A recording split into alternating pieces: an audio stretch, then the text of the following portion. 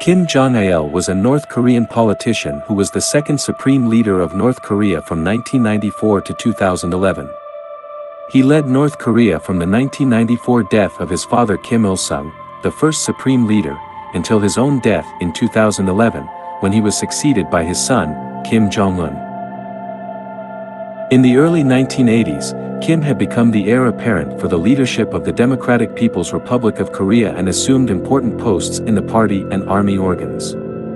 Kim succeeded his father and DPRK founder Kim Il-sung, following the elder Kim's death in 1994. Kim was the General Secretary of the Workers' Party of Korea, WPK Presidium, Chairman of the National Defense Commission of North Korea and the Supreme Commander of the Korean People's Army, the fourth largest standing army in the world.